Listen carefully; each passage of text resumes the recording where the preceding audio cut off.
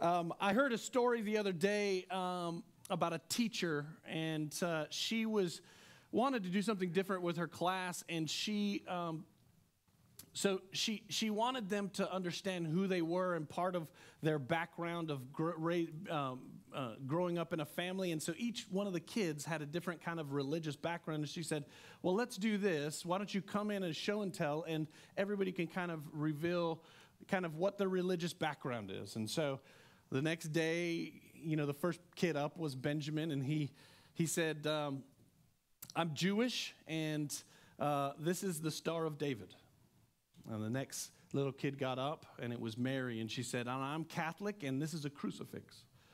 And the next little boy got up, and his name Tommy, and he says, I'm Baptist, and this is a casserole.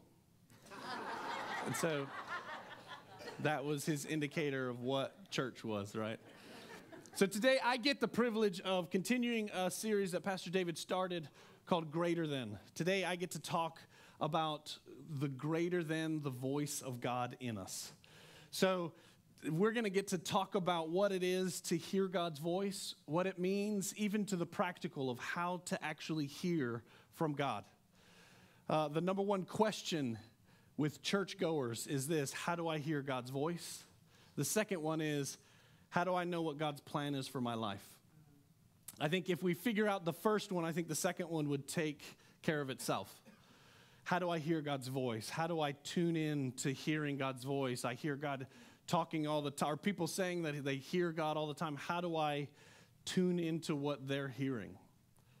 You know, I think sometimes in church, I know sometimes me, when I ask the Lord for something, direction, I, I kind of wish that He would speak to us like He did in the Old Testament, you know?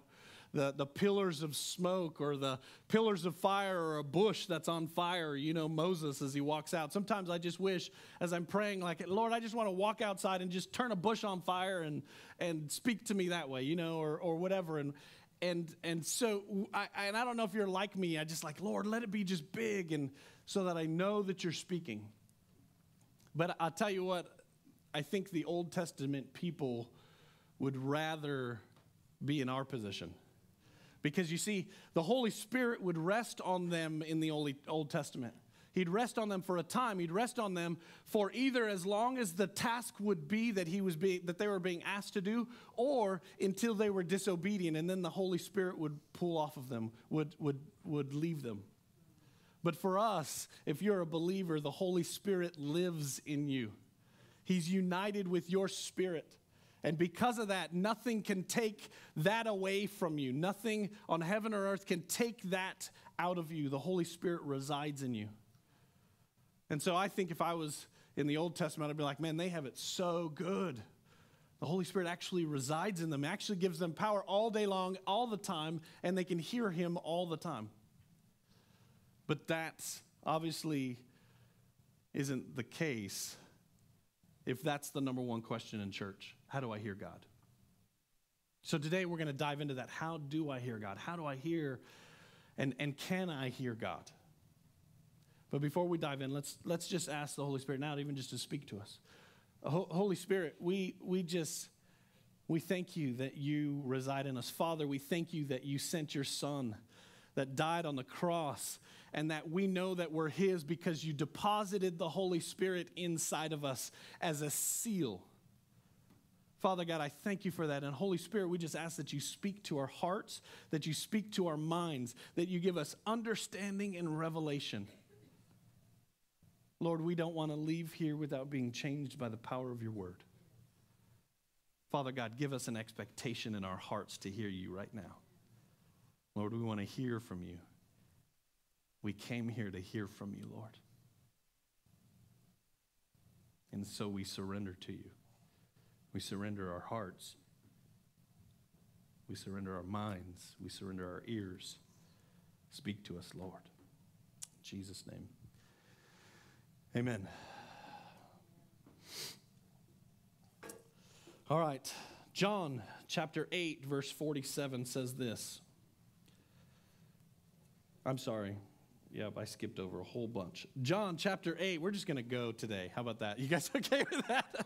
John chapter 8, verse 47 says this Whoever belongs to God hears what God says. The reason you do not hear is that you do not belong to God. This is a, a pretty blatant statement here, a pretty straightforward statement. Whoever belongs to God hears what God says. The great thing about this is is that if you're a child of God, this is a statement of fact. You hear from him. You hear from him. It's not just pastors and it's not just worship leaders and it's not just amazing men and women of God. Everybody, if you are a child of God, you hear from him and he speaks to you. This is a fact, this is a declaration that's being given by Jesus. You hear from God. And in fact, because you hear from him, that means that you're his. I think a lot of times we think that Jesus died he died to save me, and He died, He loves me enough to die for me, but He doesn't love me enough to speak to me. Like, yeah, He saved me, but He doesn't really want anything else to do with me from there. Or maybe He does, but He doesn't want to talk to me or spend time with me all day long. And so we think He loves me, of course, to do this, but does He love me enough to be intimate and spend time with me? A.W. Tozer says this. He says, the one who does not expect God to speak will discount every single time that God speaks, that God does speak. You see, having an expectation that God will speak to you or that you have the right as a child of God to speak to you, if you have that expectation and understand what you actually have as a child, and if you come with that, then you will hear God. But if you don't think that you can or that you will, as A.W. Tozer said, then every time the Lord speaks, you'll find a reason why it's not Him. I love the scripture here, John chapter 10, 14, 14 and 15. It says this It says, I am the good shepherd. I know my own sheep, and they know me. Just as my Father knows me, and I know the Father, so I sacrifice my life for my sheep. Down further, 27, it says, My sheep hear my voice, I know them, and they follow me. I love that because it's an indication of intimacy, an ind- indication of relationship that he has. That I know my sheep and they know me, just as I know my Father. I mean, we think about the relationship between Jesus and the Father, and we think of the most, the most intimate, the most one. They're united, they are one. And we think of that relationship, and He says, I know my sheep just like I know my Father, and He knows me. My sheep know me. You see, in Jesus' time, he uses this illustration at the beginning of chapter 10. He uses this illustration of a flock of sheep. Back in the day, if you had an area where there was green pastures, uh, um, a shepherd would have a flock, and it could be up to 100 sheep. And so at night, they would, or during the day, they would spend all day with their sheep. They knew their sheep, they knew them intimately. they knew each one of them exactly. They would talk to them, they would call them, they knew exactly what each one looked like. But at night, when they would, when they, uh, when they, to, they would, uh, to protect them, they would move into um, a pin or a fold, they called it. And basically, what it was was a walled, rock walled area that was just squared off and only had one entrance. And this one entrance was the gate. And so they would all, say you had 10 shepherds around this area, all 10 of them would bring them to this one area and they'd put their sheep in there for protection. And they'd put all of their sheep in. So if you had 10 sheep at 100 sheep, you'd have about a 1,000 sheep in this area and you put them all in there. And then one guy, he's called the porter, would stay with the sheep. And it, sometimes it was one of the shepherds. But what would they would do is they would actually come into the area where the one entryway, the one gate, and they actually were the gate. They would actually lay down in the entrance of the gate. They would lay there so they would know that no sheep were leaving and no one would be coming in. Now, all the other shepherds would go into town and go back to sleep. Now, when they would come back in, that porter would get up and he would look to see if those shepherds that were coming were part of these sheep. And so, if they did what to do, the, the porter would move out of the way and let the shepherd in. And that shepherd would stand there in front of this flock of thousands, a thousand sheep, and he would say, whatever his call was to his sheep, and he would call them. And no matter where those sheep were in this area with a thousand, as he walked out of that pen, as he walked out of that gate, every single one of his sheep would follow him. They would follow him, every single one of them, one after another. No other sheep would follow him but his. They knew what his voice sounded like. You see, he knew them and they knew him. They had this intimate relationship with each other. They knew each other. He knew what was going on in each one of their little lives, and, and they knew him as their protector.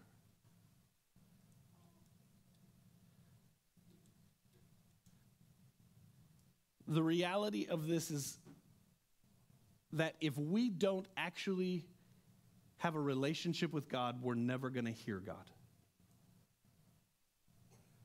Which means that if I don't hear God, then I have to ask myself do I have a relationship with God? Because a relationship with God is this it's intimacy, it's knowing who He is and letting Him know who you are and you listening to Him. I've said this before what kind of relationship would I have with my wife if I did all the talking? I'd have a terrible relationship.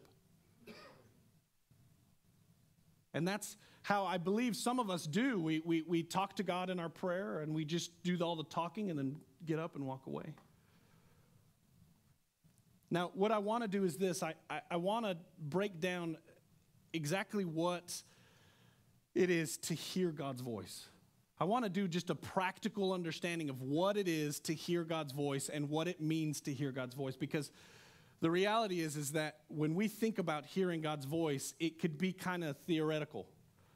Like we can think about it in a thought process like, "Oh, do you hear God? Oh, I hear God." Yeah, I read his word. His word is God's word. I hear it, I read it.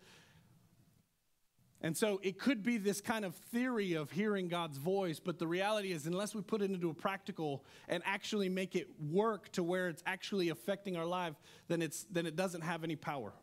And so, what I want to do is this I, I want to just break down exactly what it is and how it is and what his voice sounds like.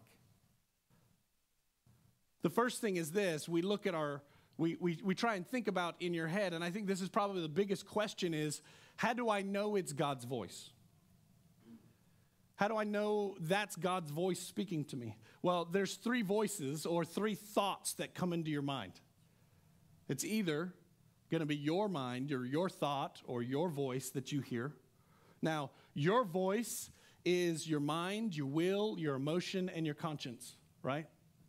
Your mind, if it's like my mind, is all over the place right? I'm, I'm from, I'm like a squirrel sometimes. Like I'm, I'll get half things done over here, half things done over there. And I'm like, oh, I got to do this. And so I'm like, man, Lord, if my mind, if I had to dictate my life by my minds, I wouldn't get anything done. My mind, my will, my will is, is anchored in selfishness. We grew up with a flesh that was sinful, and in that, the center of that is my will. I want what I want, and I want it now. Emotions. Man, emotions change like the wind. I mean, I could be sitting in front of the TV and watch a Hallmark commercial, cry, and then get in my car and drive, and someone pulls in front of me, and I'm mad now, right? I mean, there's this like constant changing of emotion. And then our conscience.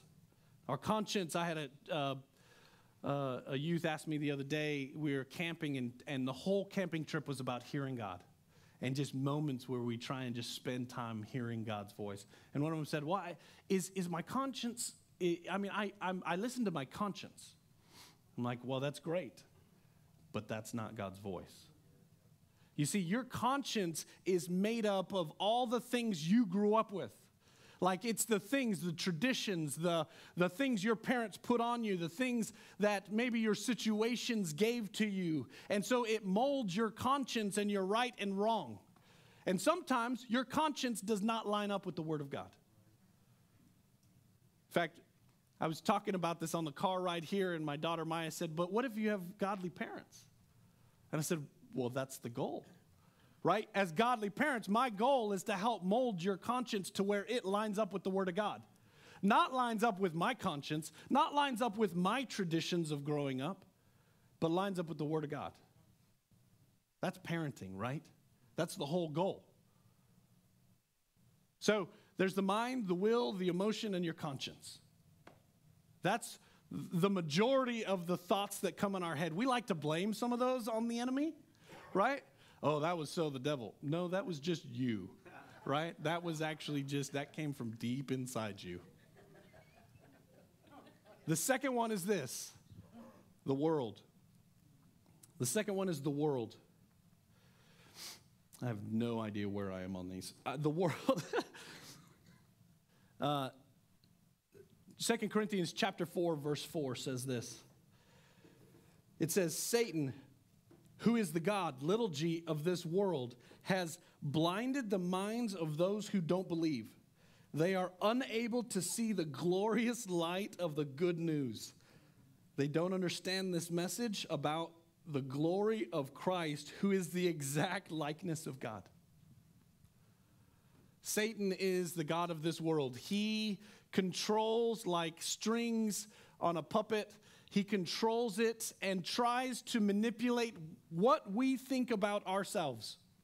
He tries to give us our identity. He tries to tell us what it means to be a man. He tries to tell us what it means to be a woman. He tries to tell us what it means to be a conservative or a liberal. He tries to tell us what it means to be a child of God, even. And he, with social media and all that, I mean, we have it harder than probably most generations behind us because it's in our face constantly. And it's telling us who we should be apart from who God says we are. And so we take on these voices constantly bombarded around us of, of our identity. And the third one is God's voice. God's voice through the Holy Spirit. Ephesians 1:13 says this, one of my favorite verses. It says, "And now you Gentiles, you guys, that's all you out there, have also heard the truth, the good news that God saves you.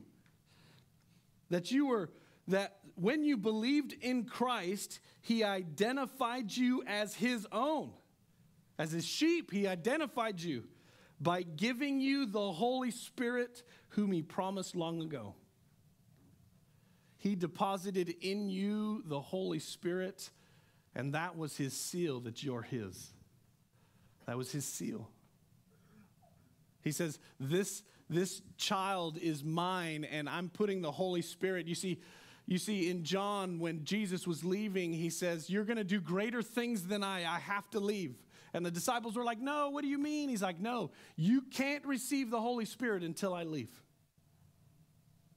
Because when the Holy Spirit comes, what's going to happen is it's going to seal you for the Lord. And it's going to make a way to where you can now hear from God. And so this is where we hear God. This is how we do it. It's through the Holy Spirit. And I'll, I'll just say a side note a lot of times we try and hear God out here.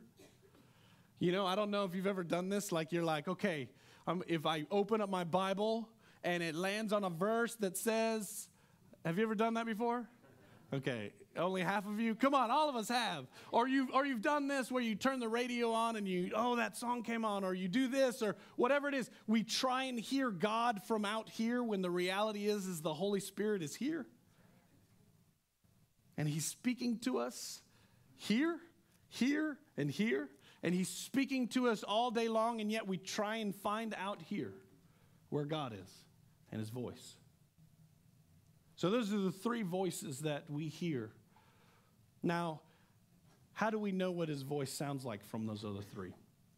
How do we look at those three voices and say, okay, that's not it, that's not it, that's me, that's the world and, and the enemy, and that's God? How do I know that his voice and how does it sound different than the rest? There's three ways to find out. The first one, and the primary way, is the Word of God. The Word of God. The Word of God is how you get the character of God. You know, if somebody were to come to me and say that Anna said something vindictive or, or, or tearing down of somebody else, like they said, oh, Anna, my wife Anna, if they said Anna said this about this person and tore, them down and, and belittled them and, and made them feel small, if they said that to me, I would say, No, she didn't. And then, what do you mean? I know my wife's character. That's what I'd say. I've heard her talk over and over again over the past 20 years, and I know she's never said anything like that. In fact, when I try to, she always pulls me back, and it makes me mad. Just join me in this, please. They're bad people, whatever. I try and get her and pull her in. Not a very good pastor or husband, but I'm telling you, I know her character because I hear her I hear her speak. I know it. over the accumulation of all the things that she has said makes in my mind an understanding of who she is, her character. And as I read the Word of God, that is alive and active, by the way, as I read the Word and I start putting it inside of me, what I start doing is I start building an understanding of the character of God. I start putting in my mind an understanding like, oh, he wouldn't say that. That thought that just came in, no, actually, he wouldn't say that because I know his character. I've read enough of his word to understand that this is who he is. He's love, he's peace, he's gentleness, he's kindness, he's self control. I know who he is, I know his character. And if you're not reading the Word of God, I hear people all the time, it's like, why am I not hearing the Lord? And I said, well, are you reading the Word? Well, I do every once in a while. There's your first step. Because what you're doing is you're adding to your, your understanding of what his voice is going to say. And it always, 100%, always, you could take this to the bank. This is a fact, always lines up with the Word of God. If, he, if it is not in there, he didn't say it. Always. So I have to read it. I have to get into the Word of God. It's a must. Number two is this his family. His family. All of you in here. This is how I hear the Lord too. And this is how I gauge and I use you guys, the family, wise counsel, as a barometer if it's God's word or not. I use you guys. You guys, see, this is the thing about the church. The church is God's plan A, and He doesn't have a plan B. Okay? The church is so necessary. And I hear Christians more and more today say, Oh, I have my own relationship with the Lord. I don't need to be attached to a body. Let me tell you this then you're missing out. You're missing out on what God has for you. You're missing out on the fullness that He has for you. And I'll tell you this you won't grow nearly as much if you were in a family than if you're not. You see, the great thing about a family is that the people around you, even though they bug you, and annoy you sometimes and say things that they shouldn't or whatever it is, you choose to be with them despite that. And the Holy Spirit breaks off a little bit more. And then somebody says something, and instead of being mad at them and being uh, uh, uh, coming back and trying to hurt them back, you come back with love and say, Man, I forgive you. Breaks off a little bit more, smooths out that area you start to be revealing who Christ said you are, but you need the people around you to sharpen you. You need them to rub against you. You need them to, in, in like in a river, the, the water to rush over it to smooth out those areas. And you need them, and they need you. You see, we're a family. He, it's, it's, not, it's not clever writing, it's actually true. We're a family. We all have a new identity and a new DNA because we're new creations, and He made us together to be brothers and sisters. And we need each other.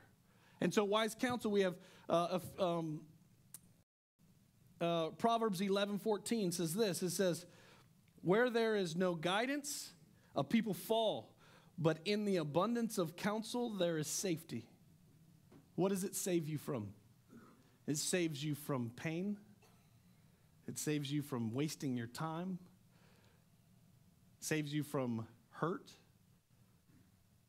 If I have a group of men around me that I say, hey, can I bounce this off of you? Is this the Lord? And, and all three of them say to me, um, no. Then I know, even if I have one that says, Dave, I think you need to rethink that. And I think honestly, some of us don't tell people what we think the Lord is saying because we know that the majority of them are going to say, no, that's not the Lord. And so we don't actually want to do life with people because we know that they're going to maybe call us out. And we're not ready to stop doing that stuff. And so we don't want brotherhood or we don't want sisterhood or we don't want a family that helps us and helps us grow and strengthens us.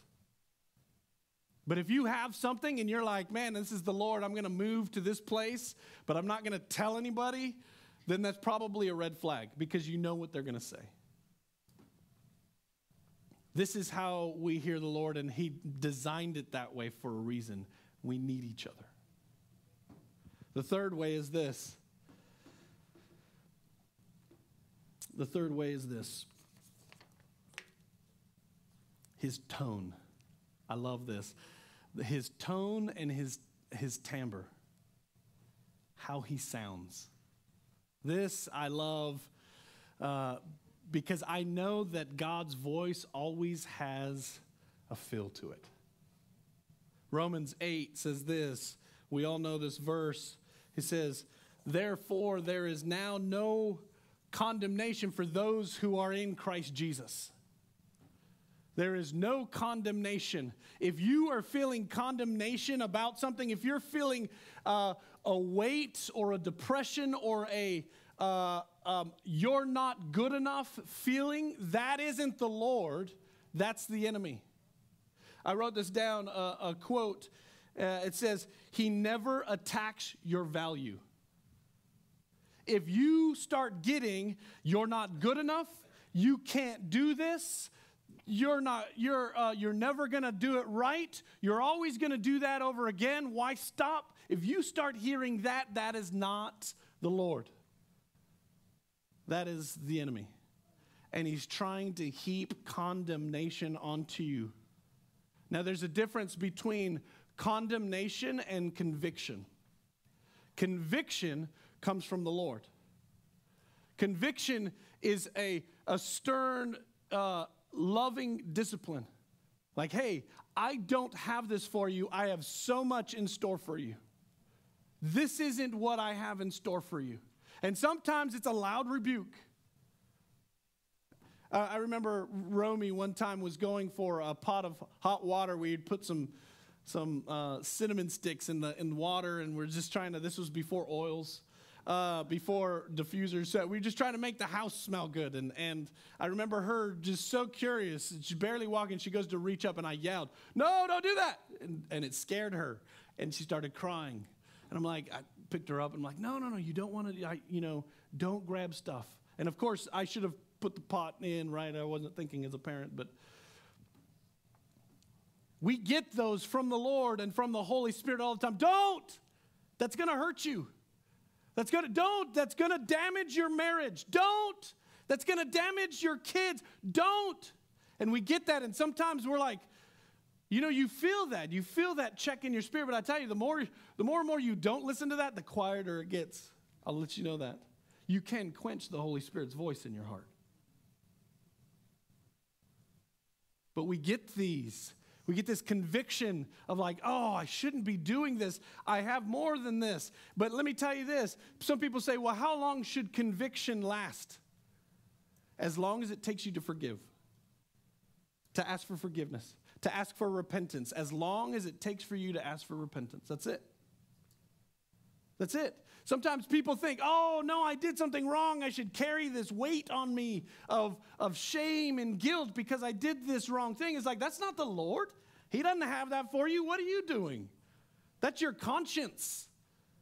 Put on by something, by the world or by whatever. That's your conscience thinking you need to carry around that, drag that weight because it's pendants for doing something wrong. The Lord's like, that's not me. I don't condemn. I don't, I'm not weighty.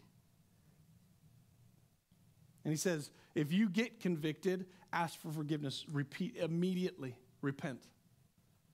And then it's gone. And then it's gone. That's how you know it's the Lord's voice. Condemnation is from the enemy, conviction is from the Father.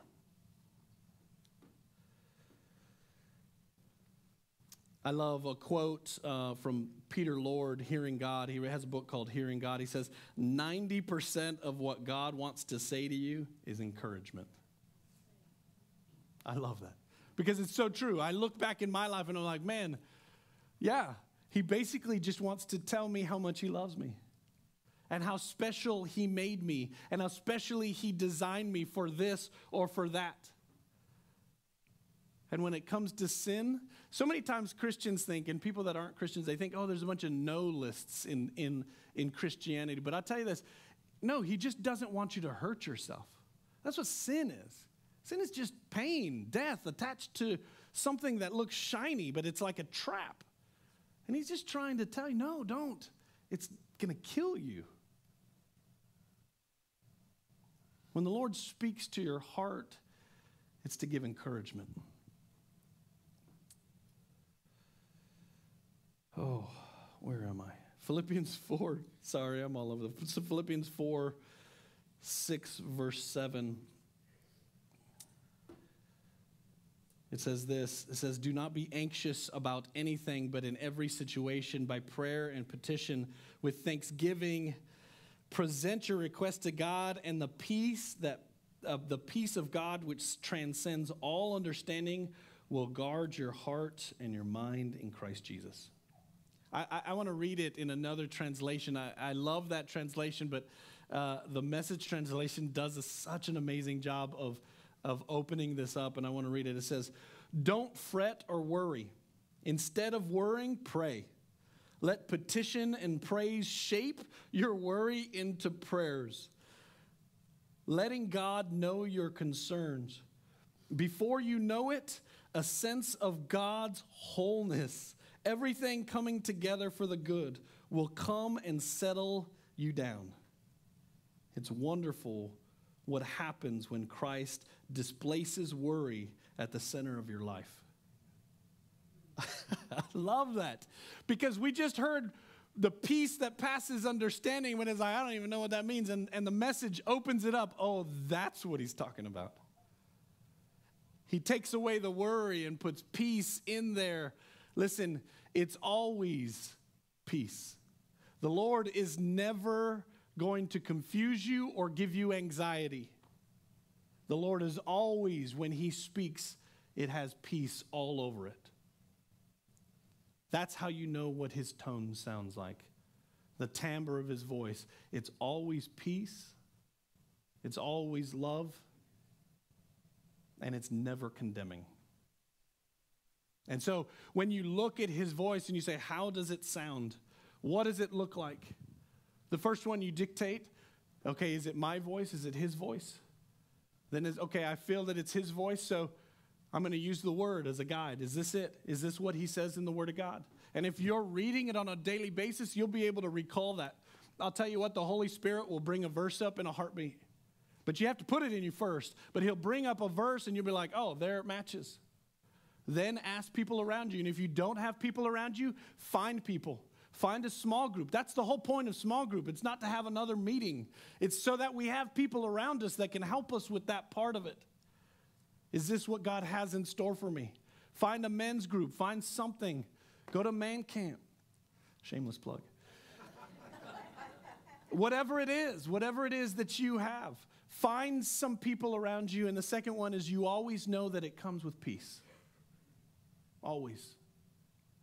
Even a conviction comes with peace. Because it's like, oh my God, I shouldn't be doing this. This isn't what I should be doing. God has more for me than this. And the third and final point is this three things to physically do that God's calling you to. The way to, the, and this is honestly, I pulled it from my life three things that I do on a regular basis that are physical and in front of me. And the first one is this it says, make time. Make time for God. You have to prioritize time with God. In fact, I love Dr. Charles Stanley says this. He says, make time with God a priority, pursue it, and persist. We make appointments for everything in the world if you probably could pull your calendar, you're like, you have an appointment for, you know, whatever. Eh, eh, the, the lamest stuff is probably on your calendar with an appointment. Make an appointment for God. Make an appointment.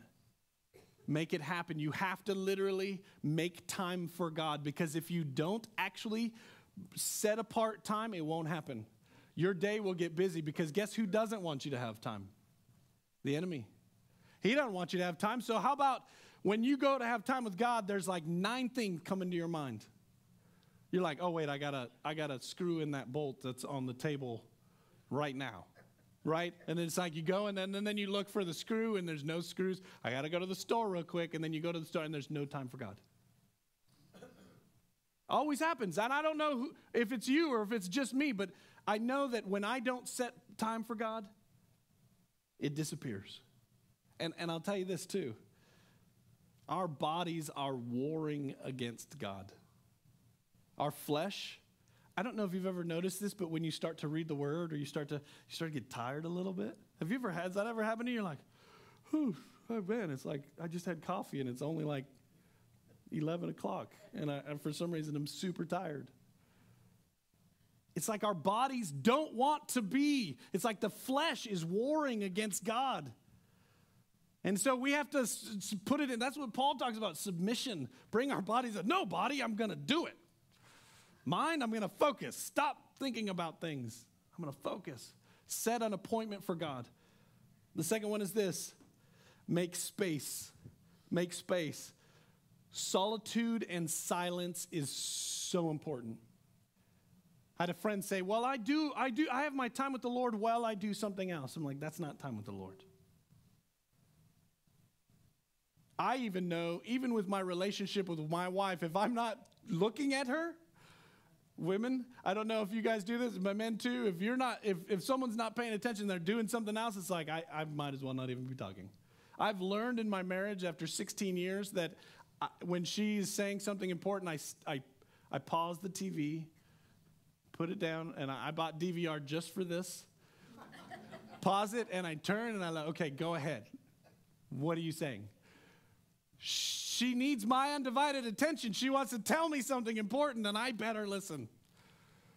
In the same way with the Lord, finding time to be silent and finding some solitude.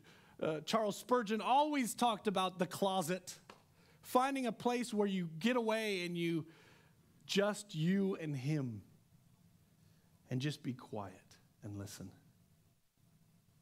And the way I do it is I spend time just talking to God, just talking to Him and telling Him how awesome He is. Because I love David's verse because there's some keys in there where uh, um, um, Psalms 100 something.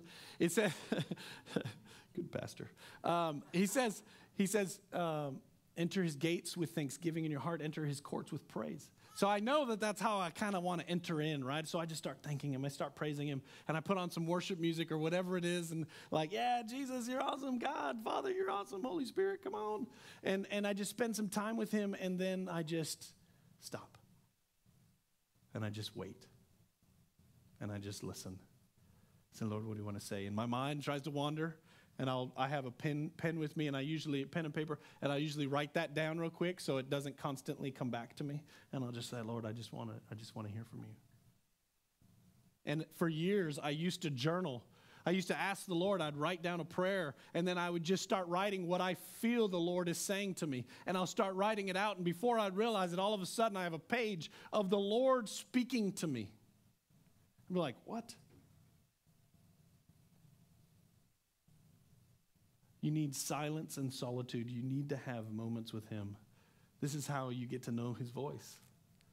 This is how, when you're in a big, busy area and all of a sudden there's noise going on and there's things happening and everything's stirring around you and there's hectic, it's like a storm, like the hurricane we just got is all going on all around you, and you hear the voice of God. That's how it happens because you've been having time of solitude, silence with Him. And you know what that voice sounds like and everything could be stirring around you. The storm could be happening around you, but you hear the voice of God. That's how you do it.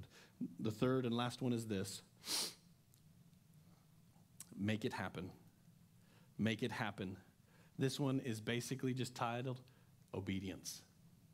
Obedience. I love Oswald Chambers' quote with this. He says, confess it quickly, make it right with God, be reconciled to that person. Do it now. Whatever the Lord's telling you to do, don't wait. Don't think about it. Don't try and talk yourself out of it. Do it now. Because I'll tell you what, I, I know for me, I have a great way of trying to rationalize something. I try and rationalize myself out of doing what God has called me to do. When the Lord says it, don't do anything else. Write it down, whatever you need to do, but get up and do it. Start doing it. And I'll tell you this this is where, this is the hinge pin because this obedience actually opens up more understanding of who He is. Your obedience opens your ears even more. Because what happens is obedience pulls away the selfish part of who I am. That soul or, or the, the mind, will, and emotion, that area of our life gets pulled back even more. The more I'm obedient, the more it gets pulled back. The more I start, I can't hear my own thoughts anymore because it gets pulled back. That area gets smaller and smaller and smaller. Obedience is one of the biggest keys to hearing God's voice. In fact, I tell some people sometime, I tell people when they say, Man, I just haven't heard the Lord, I feel like I'm in a place of silence. Listen, sometimes the Lord has that for you. Sometimes it's something, but He's told you you're going there, if that's the case. But sometimes when it's just a time of silence and, and a desert, I ask them this. They say, I can't hear the Lord. I don't know what's going on. I said, What was the last thing He said to you? What was the last thing he said to you? And what was the last thing he called you to do to be in obedience? And is he just waiting for you to be obedient? Because it actually might be the next word for you might be at the spot that you're being obedient. And he's just waiting to tell you something and waiting for you to say, okay, Lord, I'm going to do it. And then finally, you're obedient. He's like, okay, let me tell you next. And sometimes that's it. What did the Lord say to you last? And what was he calling you to? And maybe, maybe he's just waiting for you to do that. So many times we ask the Lord for more. And he's like, I have a full plate for you. I have a full plate. It's full of amazing things that I've called you to, and you want more of this, but once you start diving into this, you'll start getting full. You'll start getting fed. You'll start getting what I've called you to get. And He's called us to this. Listen, God's voice is something that we have to first want it. I want to hear your voice. And I think one of the scariest things that people think of is if I start to hear God's voice, He's going to tell me to do things I don't want to do. It's one of the biggest fears. Let me tell you this the most amazing thing about hearing God's voice is it's all about relationship. It's all about relationship. And as I start to get to know Him and I start to spend time with Him, I start to get His heart. I start to understand who He is. And my heart becomes His heart. And so as I start to want what He wants, then when He asks me to do something, it's because I want to do it, not because He's asking me to do something I don't want to do. It's all this circular relationship. And as I become closer to Him, I want what He wants. And His heart becomes my heart. I don't know if you've ever had a friend that you hang out with and you just start, you start acting like them. You start saying the same words as them. You know, you start joking the same way, and you're like, where did this come from? It's the same thing with the Father. As you start having that intimate relationship, your heart becomes his heart, and all of a sudden, the things you used to want, you don't want anymore. And the things that you never thought you would want, you want now. And so when the Lord asks you into those things, it's not because you don't want it, it's because He's prepared you enough with your relationship with Him that by the time you go there, you want it. It's this intimate relationship between a shepherd and his sheep. He loves us so much. And He's got so much life in store for us. And I feel sometimes like I'm not taking hold of all of it. And I don't know if you feel that way sometimes, but it's because I don't push into understanding who He is and to spending time with Him. And when I start doing that, what happens is I start seeing life become, become abundant. Not perfect, but abundant. So we're just going to pray. I think I'm, I'm way too late. So we're just going to pray. And I'm just going to pray over everybody here. Just for a hunger for the Father, a hunger to know Him and to hear Him and to hear what He has in store for us. You know, one thing I, I want to do is we bow our heads real quick. At the very top of this, it said, that scripture if, you're, if you hear his voice, you belong to him. If you're saying to yourself right now, I don't know if I belong to him, I've never heard God's voice, I don't know if I have a relationship with him, but I want it.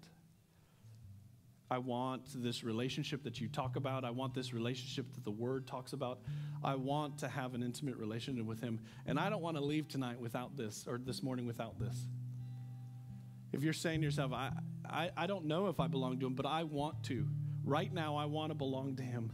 What I want you to do is just raise your hand up. And there's nothing magical about you raising your hand. It's you just declaring to the Lord that I want you. I want you in my life. So, right now, if this is you, I want you to raise your hand up high. I see your hands. Yeah, all over the place. If this is you and you're raising your hand up high, I want you to know that it is literally God.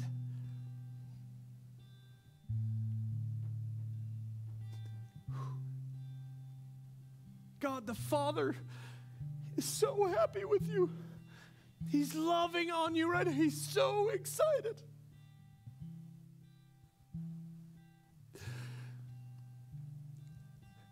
He's so excited for you to get to know him and you to take hold of what he has in store for you. He's so excited that all of heaven is rejoicing right now. Father, we thank you for that. We thank you for every single hand that went up today. That they are calling out for you. And right now, you are placing in them the Holy Spirit.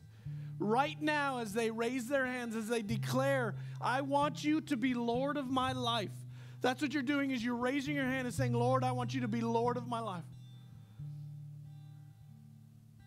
He's putting in you right now the Holy Spirit. And he's saying, You are mine.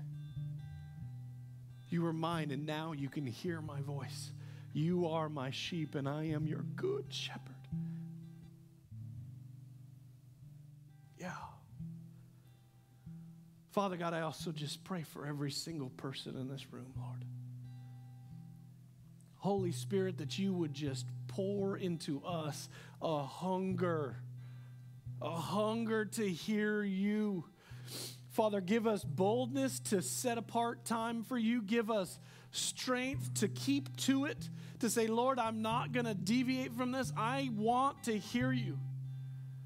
I want to be persistent. I want to pursue it. I want to I want to I want it to happen in my life. Father God, I just ask for that grace right now over every single person in this room. Holy Spirit, that you would just place a hunger to hear you, a hunger to chase after you, a, a hunger to draw close to you. Father God, I thank you for what you're doing. I thank you that you right now are just allowing this grace to happen, allowing this blessing to be poured out over your children. You want this more than they do.